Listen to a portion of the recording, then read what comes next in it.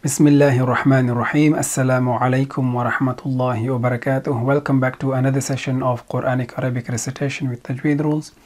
In this session, we will study these three words uh, of Al Qaida Nuraniya, page number 13.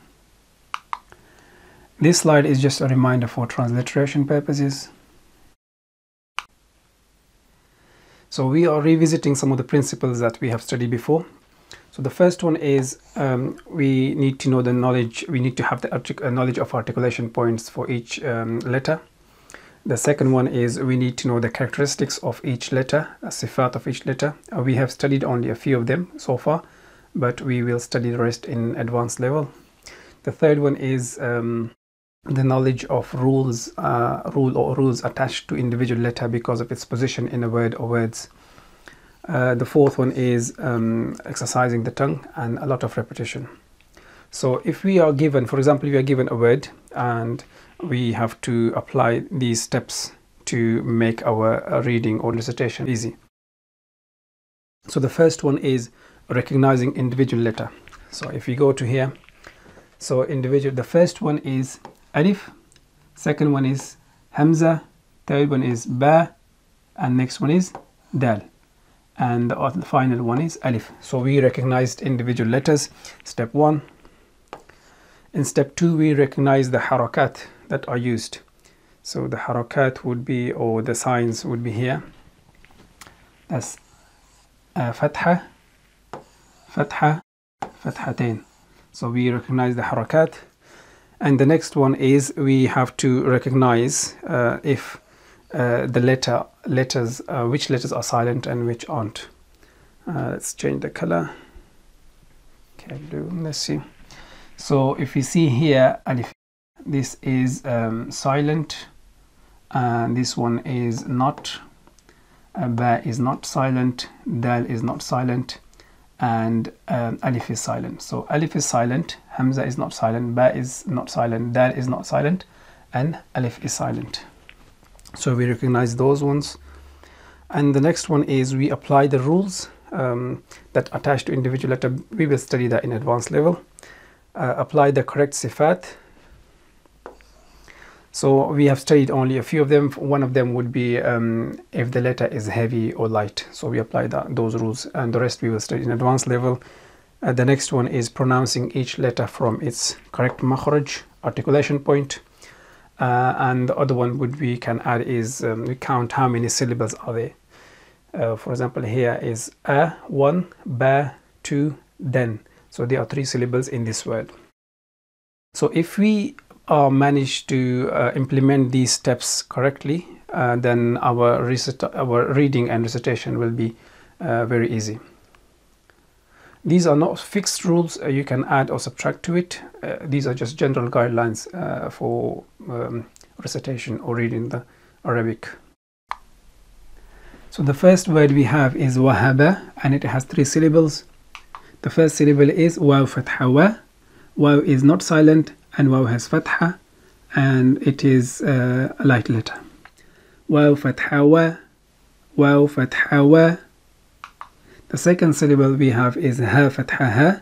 Ha is not silent, it has fatha and it is a light letter. Ha fatha ha. Ha fatha ha. So now we connect these two syllables and we have waha, waha, waha, waha. The third syllable we have ba fatha ba. Ba is not silent, it has fatha and it is a light letter. Ba fatha ba, ba fatha ba. So now we connect these three syllables and we have wahaba, wahaba, wahaba, wahaba. So the next word we have is humazatin and it has four syllables. The first syllable is ha dhammahu. Ha is not silent, it has dhamma and ha is a light letter. Ha dhammahu Ha dhammahu. The second syllable is mim fatha ma. Mim is not silent, it has fatha and mim is a light letter. Mim fatha ma. Mim fatha ma. And now we connect these two uh, syllables and we have huma, huma, هما هما the third syllable we have is za fatha za za is not silent it has fatha and it is a light letter. Za fatha za. Za fatha za. So now we connect these three syllables and we have huma za huma za huma za huma za. The fourth syllable we have ta kasratain tin. Ta is this here is written ta marbuta but it's actually ta uh, ta is not silent. It has uh, underneath and it is a light letter. Ta kasratain tin. So now we connect these four uh, syllables and we have humazatin humazatin humazatin humazatin so the next word is hudan and it has two syllables. The first syllable is ha ha is not silent and it has dhamma and ha is a light letter. Ha dhamma ha dhamma the second syllable is dal fathatain so if you notice here the ya here is silent. We only write dal fathatain we pronounce it we pronounce only dal fathatain dan. Ya is silent. And dal is a light letter. Dal fathatain dal fathatain so now we connect these two and we have hudan hudan hudan hudan so the next three slides would be um, sounds only uh, without spellings. Wahaba wahaba wahaba wahaba. Humazatin humazatin humazatin humazatin